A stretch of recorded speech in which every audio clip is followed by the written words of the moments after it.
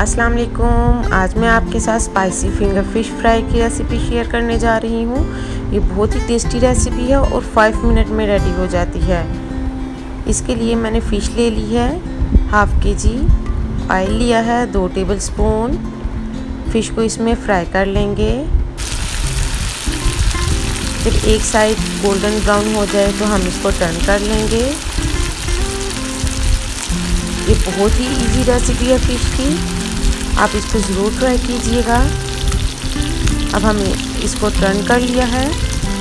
अब हम इसमें स्पाइसेस डालते हैं। इसमें नमक, आधा चम्मच चिली फ्लेक्स एक चम्मच, ज़ीरा, एक चम्मच, सूखा धनिया, एक चम्मच, हल्दी, आधा चम्मच, चाट मसाला, आधा चम्मच, गरम मसाला, आधा चम्मच, राई, आधा चम्मच कलौजी आधा चम्मच। ये सब मसाले डालकर इसको अच्छे से फ्राई कर लेते हैं। तो इसको फाइव मिनट के लिए कुक करते हैं।